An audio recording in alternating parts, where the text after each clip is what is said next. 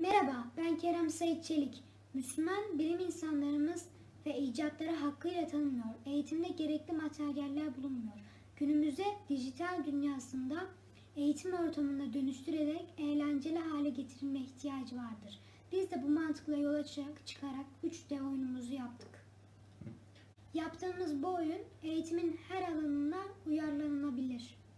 Ee, Ben Taha Özdemir. Kodların yazımından sorumluyum. Unreal Engine 4 programında yaptığımız oyunda e, duvarlara astığımız Müslüman bilim insanları ile ilgili olan bilgileri okuyarak karakterimiz soruları cevaplıyor ve e, belli e, belli bir puana ulaştığında buradaki bütün e, belli, e, bil- soruları cevaplayarak belli bir puana ulaştığında aşağı kattaki hikmet kapısı açılıyor ve karakterimiz böyle bir çıkıyor ve burada da Müslüman bilim insanlarının e, icatları var. Mesela burada su pompası, El Cezeri'nin yaptığı su pompası.